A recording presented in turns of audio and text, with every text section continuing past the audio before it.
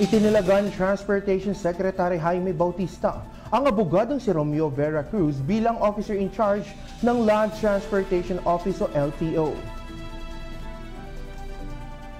Base sa Special Order No. 2022-130 ni Pangulong Ferdinand Bongbong Marcos Jr., gagampanan na tuto pa rin ni Vera Cruz ang responsibilidad ng nasabing posisyon hanggang July 31 hanggang maitalaga ang talagang poposisyon dito.